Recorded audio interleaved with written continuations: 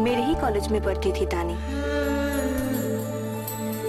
आज भी पूरी कलकत्ता में लोग उसके प्यार की कस्में खाते हैं। हमारे लिए तो मोहब्बत की मायने ही बदल गई वो।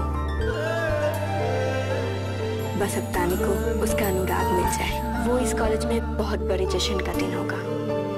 क्या फिर जुड़ पाएगा अनुराग के साथ तानी का नाम? तेरे लिए जल्द ही स्टार प्लस पर।